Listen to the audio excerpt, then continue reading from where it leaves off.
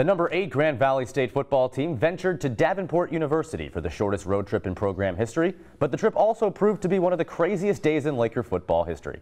GVSU pulled out a 19-14 comeback victory in the closing minutes of the game that featured two lightning delays, monsoon-type rain, and pretty much every type of weather Michigan could throw at it. Here to talk about the game is head coach Matt Mitchell. And Mitch, despite all of that, you guys were able to pull out a win. Yeah, we didn't play very good football, but I, I will give our kids a lot of credit. Uh, we were we were in a bad spot there late in the fourth quarter, but we didn't really flinch. You know, our, our sidelines stuck really tight, and uh, had to go with Cole Kotopka, our backup quarterback, and just kind of we converted the fourth down play, just kind of kept playing, and then after even after we got that stop, our defense went out there. We let the quarterback scramble on a fourth and 15 for a first down, but um, found a way to kind of win the game. It was a very, um, very interesting day all around. We didn't play real well. You had weather delays, a lot of things. Credit Davenport too, a six and one Davenport team that was playing really inspired football.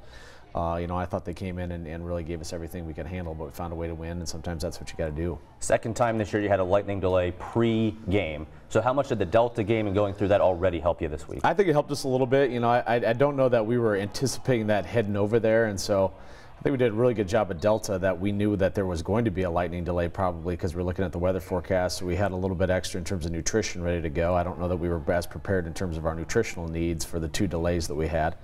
Uh, but, you know, I, I, think the guys did a good job staying in the locker room, trying to keep them focused, trying to keep them, you know, ready to go. And uh, I think that showed in the opening drive. You know, we went all the way down the field. Obviously, the fumble on the two yard line is uh, not something you can have happen, but um, that was a great drive to start the game. I thought our offense showed that they were ready to go to start it. Yeah, Bart Williams went four for five on that drive. It had the weather at the beginning of it, where the ball slips all the way to the three, you go 97 yards, fumble on the other end. How much did weather play a factor in those two plays, bookending that otherwise great drive? Yeah, I, we, I mean, we really struggled to return the football. We didn't catch, a, we didn't catch, uh, we caught one kickoff, and we we didn't catch any punts. And so we've got to do a better job of pregame warm-up, obviously, of trying to judge the ball when the ball's in the air and doing a better job because that was something we kind of struggled with. We had opportunities in punt return to probably get some better field position for offense. We didn't field the football. So um, that's one thing we probably didn't really handle real well was fielding the football um, on that end. The other end of it, special teams, I got to give a lot of credit to J.J. McGrath. Uh, two field goals. One was definitely in the wind. A lot of wind hit the two field goals, and his kickoffs were uh, really good. No return yardage at all for them on, on those. So one guy that showed up and, and, had a really solid game was JJ.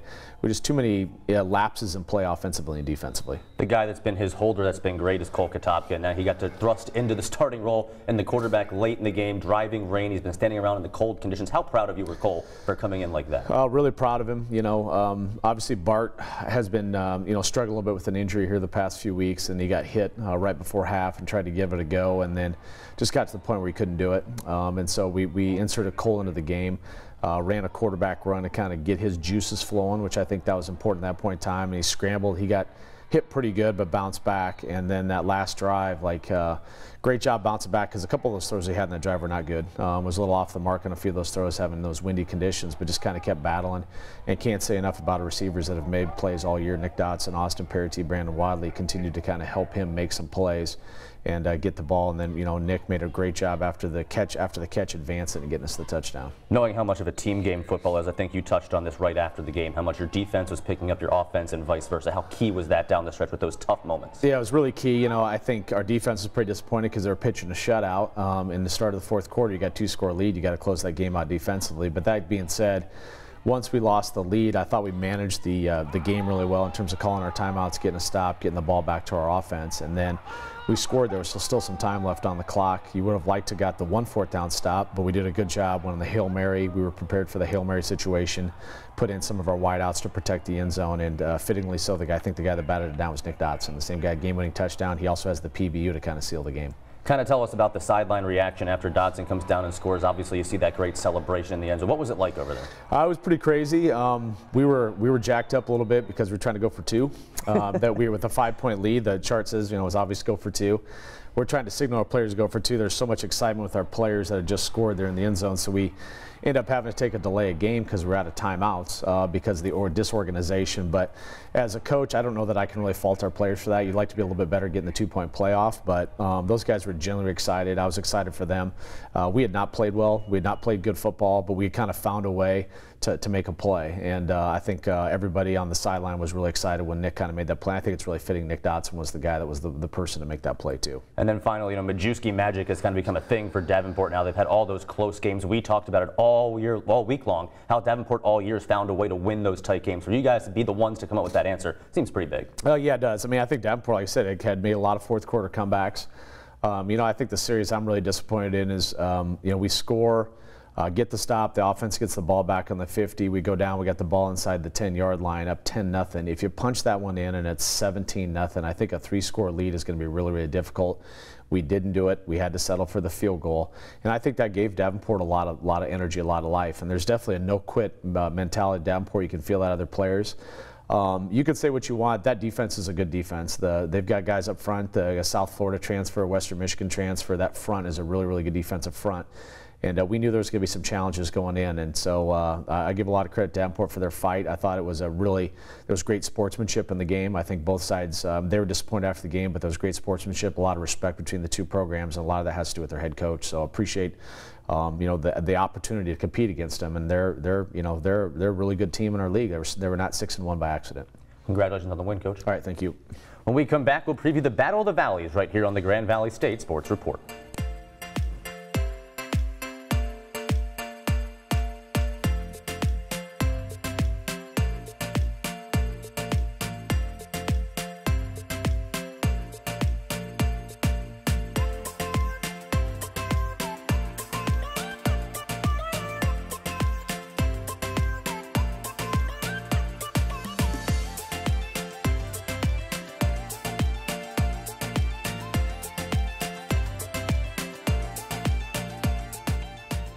The Laker football team will head to Saginaw for the Battle of the Valleys this Saturday against SVSU. Head coach Matt Mitchell back to talk about the game coming up and coach another really good football team on the horizon. Here. Yeah, great team. I mean, if you're looking at Saginaw Valley State, this is a playoff game for them. Um, if they win, they keep their chances alive with two losses in our region. A loss uh, that probably eliminates them. So you got to think a senior class, a coaching staff has got to put everything on the line for this. Um, you know, they're six and two. They've, the two games they lost were at Ashland, 21-17, a game they were leading um, into the fourth quarter, and then they lost to Ferris, 28-14, a game they were leading at halftime. So um, it's a really good football team. I'm really impressed by their offense, um, quarterback, and, and the receivers and the guys they got. They can really throw the ball around. Uh, they're very competent in that end, and they play really solid defense. I mean, statistically, they're one of the better defenses in our league. So this is a balanced football team. We got to go there.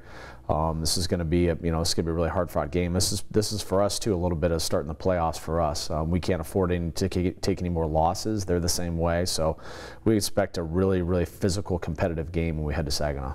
Finally, a road trip where your guys have been there before, so they know what to expect. But nonetheless, Saginaw is a really tough place to go and get a win. It is a tough place, and um, it's it's been an intense rivalry. Um, we have a lot of rivalries in the state, but that's definitely one that's been intense. And I've been around it for 15 years, back to the mid 2000s. A lot of things that have gone on back and forth those programs. So uh, we're going to have to play really, really well in all three phases. Um, we've got to get some guys back, hopefully, off of, we, we're pretty banged up with injuries. We've got to continue to get those guys back, but I think everybody at this time of the year is kind of feeling GLIAC football, you know, in terms of the, the ups and downs, but uh, really, really critical. We got to get this turnover thing figured out. We've had two straight weeks where we've been on the negative side of the turnovers, and that's put us in jeopardy of, you know, potentially going 0-2 in those two weeks, and so that's something that's got to be addressed this week. We got to get cleaned up. If you could, the first five weeks you guys were so good about the turnover margin. What's changed the last couple of weeks? Well, you know, I think yes yesterday, well, excuse me, on we played um, Davenport on, on Saturday. That's the first time we fumbled the ball. You know, our running backs didn't play as good as they can. Um, and something that had to do with the contact that Davenport was bringing. I think that was a physical defense that was really popping pads, and there's a lot going on out there. But, you know, I, I don't blame it necessarily. The, the, the lack of completions has to do a little bit more with the wind and the weather conditions. I don't really blame the weather on our, our, our ball security. We just weren't as focused as we needed to be on ball security. So that's something we have got to get cleaned up. One week it was the, the picks, and then last week it's the fumbles. We can't have those things if we expect to win. Sounds like you think Saginaw's an aggressive defense. What can we expect out of them defensively? Well, I mean, their front's really good. Uh, it's really, really difficult. They don't give up a lot of yards rushing. Um, we're going to have to Um, we're going to have to find ways to try to get our backs out in space. Um, it was really difficult last week, a little bit trying to get that done again. So the focus got to be on the run game or running backs, ball security. We've got to have a, a week of practice where we try to focus on and get those things done, and continue to, uh, you know, we're making plays on the outside. That's evident. We've got to we got to shore up our running game and get a little bit more consistent with our things that are happening with the O-line tight ends and the backs, and keep hitting things. We were explosive earlier in the year. Um, we've kind of hit a little bit of a mid-season here where we've got to try to refocus up and get better at that. If you could quickly give us some names on the offensive side of the ball to watch out for from the Cardinals. Well, their quarterback Ryan Conklin is really good. Um, he, you know, he takes uh, a lot of hits and keeps on going. I mean, he got sacked six times last week against Ferris and kept popping up and kept delivering the football. Um, last year's game, we were able to get some pressure on him, but he kept delivering football. I have a lot of respect for him, how tough he is physically. He obviously can, you know, he's throwing the ball extremely well. And then they have an all-conference receiver, Chad Gilliard, who's big, six foot two, 205 pound guy that can go down the field. He can really stretch you. Um, is an explosive threat on the outside. They do a good job moving around, moving the pockets with sprint outs, doing some different things to try to protect their quarterback. But um, if, if their receiver number 17 has a big day, we're in trouble. So that's something we got definitely got to take a look at because he's one of the better receivers in the league. All right. Well, it seems like strong quarterbacks a staple at the GLIAC. Good luck this week, Coach. All right. Thank you.